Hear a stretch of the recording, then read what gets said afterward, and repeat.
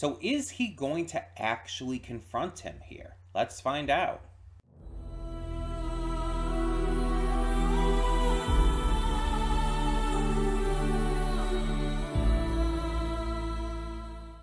Hey everyone, welcome to Princess Gay. I'm your host Connie, and today we are here with my blind reaction to Free Dive to the Future, or Season 3, whichever you prefer, Episode 2. So, the first episode of the season kind of disappointed me. Because if I'm being honest, not only was I kind of expecting the focus to shift to uh, Nagisa and Rei, but I feel like it just worked the best. It, w- it would have worked the best narratively to do so. Because the series feels like it's, like, yeah, it's named after Haru's preferred swimming style. But at the same time, the series has always been about the Iwatobi Swim Club. And it just, it feels weird to just kind of leave that behind. Like don't get me wrong like we saw in the first episode the club is still going to be part of it but it's going to be like i wouldn't even call it a b plot. I'd call it like a c plot because if anything if if i would call anything like the b plot it would be more of the stuff with uh and, and i guess specifically with uh uh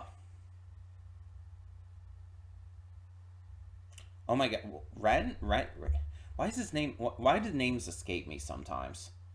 You know who I'm talking about. Um, but instead, our A plot is still focusing on Haru and Makoto. And it's like, yeah, I, I get that they're the main characters, but it, narratively, it would have worked better to switch that up. It would have worked better to have them be, you know, the side plot while the focus remained on the Iwatobi Swim Club and now Nagisa and Rei, I, I think that just would have worked better. But that's not what I went with. Instead, we're following Haru and Makoto into college and just kind of not changing the status quo. And some people will tell you that's a good thing. Some people will say, like, oh, you shouldn't change the status quo. It's the status quo for a reason and all. But I have never believed in that. I believe that things need to change in order for, you know, shows to go on this long. You need to make changes, otherwise, it becomes stale. You don't want your series to become stale why do you think people say that about The Simpsons nowadays? That series has been going on for so long, it, it's just nothing new at this point. It's nothing special anymore. And don't get me wrong, you can still have like good episodes and, and, and content here and there. But overall, the series just lacks that luster that it used to have. Simpsons is nowhere near as popular as it used to be. And it probably will never reach that popularity again. Mind you, this is only the fourth season. It's nowhere, uh, or third season rather. It's nowhere near the level of episodes and years that uh, had been going on with The Simpsons. But with an anime and with a seasonal anime like this, the the the the fading tends to come in a little quicker. Like I said, a lot of these shows have to change the status quo. Whether they're based on manga or not, that really doesn't matter all that much. Now, I don't I think Free is based on a manga. I think. Um, so that this issue, I guess, goes it, with the manga as well, and that's what you have to really think about. Like, like let's look into other shows, like My Hero Academia, just as a random example. My Hero Academia has what six seasons currently out, I believe, something like that, and the thing is, it has to have changed its focuses a little. And My Hero has done this by making it more intense and by bringing in this war. By integrating this war and by raising the stakes, it changes the status quo from a fun little series about superheroes in training to something much bigger, much more intense, much more exciting. And it deals with a lot more heavy shit. And that's that's honestly a very minor way to handle it. Like the the changes that my hero made were small, but it still worked. But it it also proves that they don't have to be major changes. You have a series like One Piece in comparison, and this one I guess like lengthwise is more comparable to The Simpsons.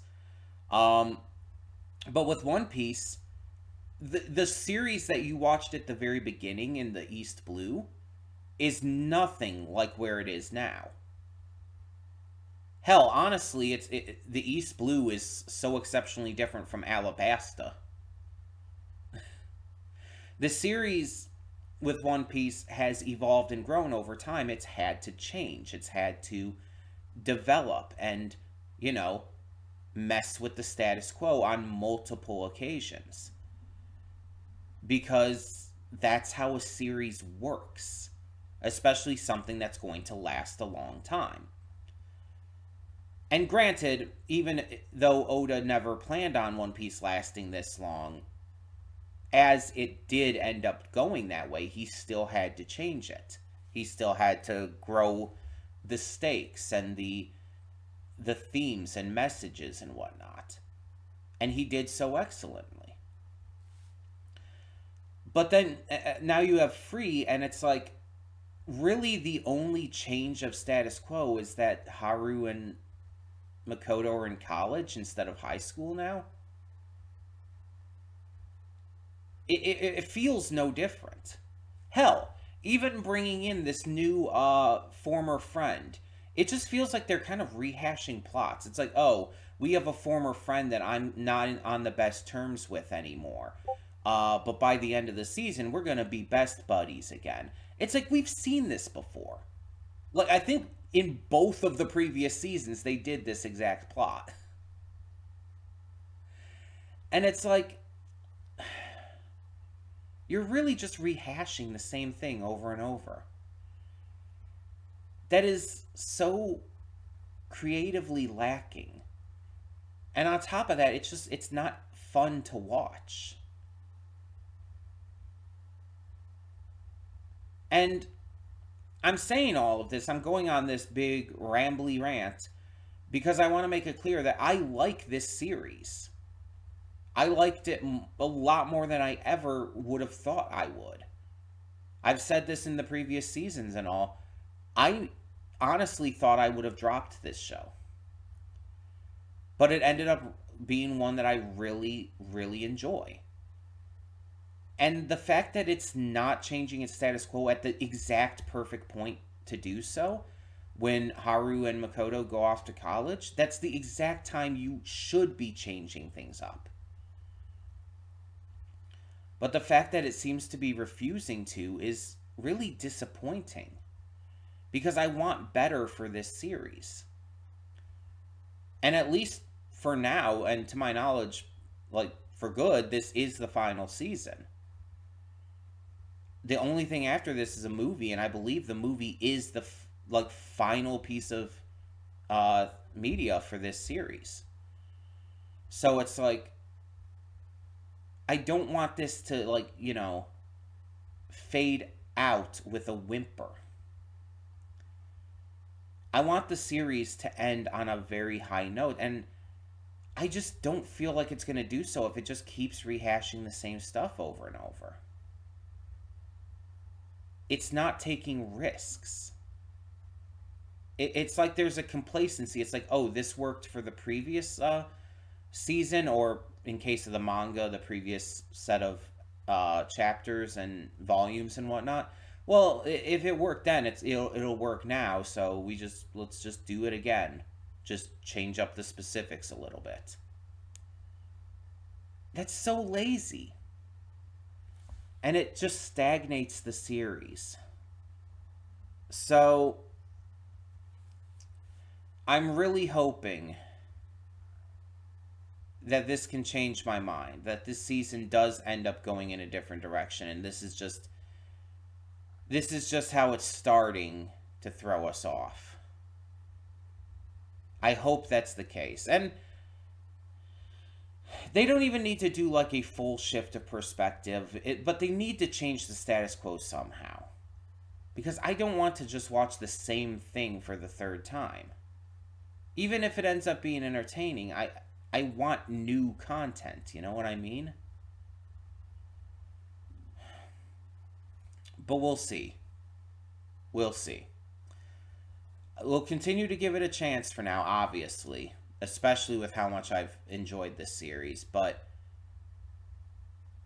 we'll, we'll, we'll see how it handles itself before any kind of decisions are made one way or the other. So, let's just get this going and hope for the best with this episode. So when the screen fades to black, pause this redirect and go to the description below. Follow the link to the reaction, and after you watch it, come back here to the redirect and resume play. Because after fades black and then fades back in, everything from that point forward will be my afterthoughts and will contain spoilers to the episode. So, that being said, thank you so much for tuning in, and I will see you at the reaction. And we are back and we'll begin with spoilers in three, two, one, now. So I've said this before, but I really don't like how a lot of these anime will put the preview for next time right after the episode instead of like after the um the um credits, the ending. Because it like it comes out of nowhere. It's like I don't want to be spoiled for next episode. Um but at the, and at the same time it's like there, there's not really much i can do to avoid that because it's like it just happens it's it, it's irritating. Anyway so Ikuya is like super gay. Um that like listen I, I was saying in the reaction uh, i'll talk about it here too. So this is one of those series that like is all about the the the queer coding. For those who don't understand what that means, it basically means that the show and the characters are are very much depicted as gay without being explicitly said to be gay. This isn't like Given, where in that series it's very explicitly said and you know you have kissing and whatnot. It's not like that. With this, it's it, it can get pretty apparent, but it never directly says anything, never directly confirms anything.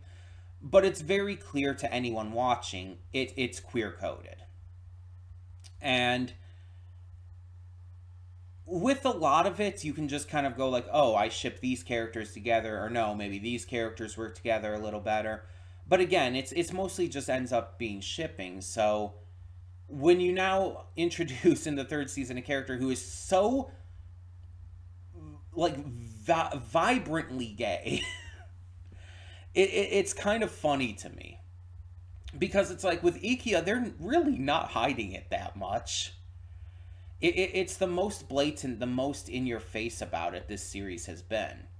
The way he looks at Haru, the entire thing with the shooting star, like the, the them watching the shooting stars together, and then like Ikuya leaning into Haru the way that he does, like come the fuck on. Like, I, th- I think the other guy's name is Iori. Uh, very clearly is a, a Ikuya's boyfriend. Like it's super obvious the way that he uh, is defensive and, and protective of Ikia, and just it, it's like that's not a friendship thing. I'm sorry, but it's like friends can be very protective over each other for sure, but the way he's doing it and the the very clear looks that he gives him and everything, like they're more than just friends. Like come on. and you know, as someone who loves queer representation in media, even if this is never explicitly said that they're boyfriends, it's very, very much implied. To the point where it basically doesn't even need to be explicitly said. It's like the context tells you literally everything. So, why would they do this? And the answer is actually pretty simple. Um, there's a lot of times where Japan is very behind when it comes to this kind of thing. When it comes to uh, not just queer representation, but queerness in their culture in real life. And it's it's not as bad as like some other places in the world, of course. But they're not as accepting as like America or Canada is. It's it's it's just there's they've got a long way to go. And while there are a lot of manga and anime that do like have very blatant uh you know queerness in it, um let's be honest, a lot of time it's very fetishized. Um, even if not like in a strictly sexual sense, it's often portrayed as like this as something that you're supposed to be into rather than, you know, acting natural. But there are those occasions where you do get a very natural amount of queer rep. Um, you have that in Carole and Tuesday. That's a great example, given I mentioned before, which is an amazing gay love series. It's like there there are those examples of shows and even movies from the anime industry that do get it right. Um, it, it's hard to say how this is going to go so far though, because right now this is it, again, it's mostly just implication. I don't think they're going to like directly say anything or show Ikuya and like Iori kissing or whatnot. I don't think it's going to go in that direction. If it does, I will be excessively surprised and pleased. As long as it's handled well, of course, but it's still nonetheless blatantly obvious. like in the first episode, we only get a brief glimpse of the Iwatobi group in this episode, and it's still really disappointing. Because as much as I, I enjoyed seeing the very blatant gayness in this episode, I still really wish that they had, you know, focused on Iwatobi's side of things. We got to get a brief glimpse at a couple of the new members and how they're integrating in, and it, it's really good. Like, they're integrating in well. They seem to be connecting with uh, our senior members really well. And they're even being super useful. This girl who's the new uh, assistant coach with Go, like, her her info dump there on this uh, little uh, swim meet and everything, or whatever it was exactly. Like, that was big information for them to learn. That they could be meeting with their old friends and introduced to their new friends a lot quicker than they anticipated. And she just pulled this out of the top of her head. She just had this information ready. That's useful. She knows what she's talking about. She has information she is following in Go's footsteps at being a very useful member of the team, even though she's not swimming herself. And that's great. That's amazing to see. And then you have this other guy who was born in New York and everything. It's like they're giving us information, they're developing these characters, but they're still like, again, like a B plot, C plot. And it's like, we're still focusing on the stuff with, well, now Ikuya and Haru's relationship. Which, mind you, I don't dislike seeing, I just wish the focus was more on Iwatobi. And now, next episode, since, you know, got spoiled on that because of the stupid preview being put where it was, uh, apparently is going to focus on the, uh, Rin so it's now now we've got like A plot, B plot, C plot, and it's like just like there's way too much going on here. Like we we don't need to focus on all of this. It's it's not going to be easy or smart because it's just going to spread a lot of this very thin and I'm I'm really worried that that none of the plots are going to get the focus and attention they deserve. I guess we'll see, but yeah. I'm really worried for this season like so far. It, it it's just it's concerning to me the way they're handling this. But maybe it'll prove me wrong. Hopefully, it will prove me wrong. We will definitely have to wait and see. So, tell me in the comments below what did you think of this episode of Free Dive to the Future? Let me know. And for now, I'm Connie and I'm signing off. See y'all next time.